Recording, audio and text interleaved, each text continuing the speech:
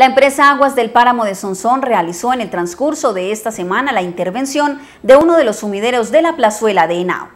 Se trata del sumidero ubicado en la carrera sexta con calle 13, en la vía que comunica con el barrio Buenos Aires. Los trabajos consisten pues en la reparación de la, de la rejilla que se encuentra en la vía pues detrás del Coliseo,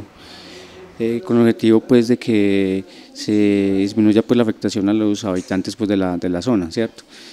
Mm, dado que pues presenta ya inconvenientes pues de,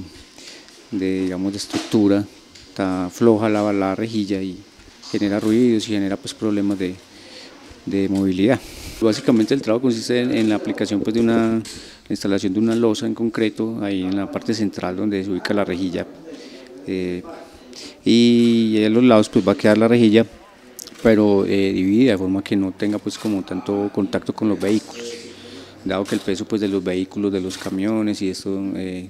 va afectando pues la estructura como tal, el ajuste de la parrilla. Con motivo de estos arreglos, la vía estará cerrada durante dos semanas, por lo cual la circulación de vehículos debe realizarse por vías alternas, evitando así contratiempos en la movilidad y el transporte. De forma pues que no, los vehículos no vayan a afectar pues eh,